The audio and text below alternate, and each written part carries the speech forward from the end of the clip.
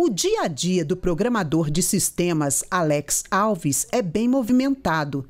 Além do trabalho em casa, ele cuida dos três filhos. Dois têm diabetes do tipo 1. Uma doença crônica grave que ocorre quando o pâncreas não produz insulina suficiente ou quando o corpo não usa corretamente a insulina que produz.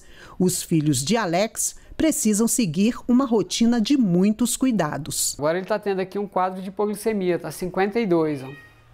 Tá? Então eu vou ter que fazer uma correção. Tem que dar 15 gramas de, de mel ou de açúcar, duas colheres de açúcar, 15 gramas também, para poder fazer a correção da glicemia, porque está baixa.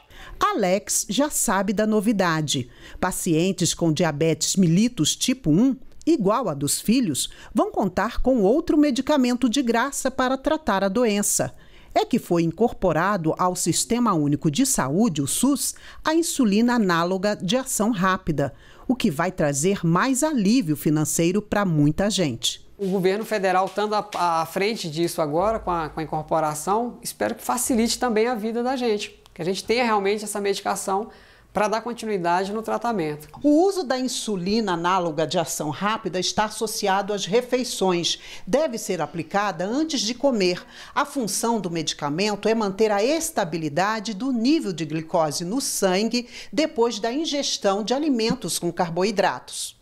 O diabetes atingiu em 2015 mais de 7% da população adulta do país, segundo dados do Ministério da Saúde. A doença é mais frequente nas mulheres que nos homens e se torna mais comum com o avanço da idade. O governo federal já oferece, pelo programa Farmácia Popular, outros medicamentos, insulinas, além de reagentes e seringas para o tratamento da doença. Agora, a insulina de ação rápida deverá estar disponível para distribuição num prazo de 180 dias. Esta insulina vai justamente promover um ganho melhor em relação à redução de hipoglicemia.